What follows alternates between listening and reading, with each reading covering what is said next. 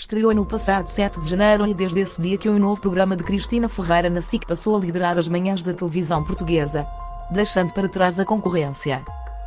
Era difícil acreditar que corresse tão bem, mas correu. E esse mérito é da carismática apresentadora. Foi ela que concebeu este programa e que o conseguiu pôr de pé, tal como o havia imaginado e sonhado. Trabalhadora incansável e profissionista, Cristina Ferreira tem dado o seu melhor para ganhar mais este grande desafio profissional. Agora, a apresentadora vem agradecer à equipa que com ela embarcou nesta aventura e aos portugueses que a preferem todas as manhãs. Este é o meu obrigada. A todos e a todos. Escreveu no seu blog é também lá que admite que este meu janeiro será, sempre, o mais especial de todos. Esperei-o com ansiedade meses sem conta. Vi-o chegar de repente e desejei que demorasse mais. Mas chegou chegou para me marcar eternamente.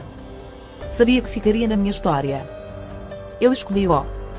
Mas não sabia que cada um dos dias deste primeiro mês de 2019 seria um recomeço.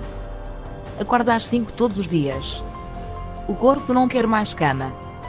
Guarda dentro muitas histórias e memórias. Às 7 chego a Carnachide. Chego de noite.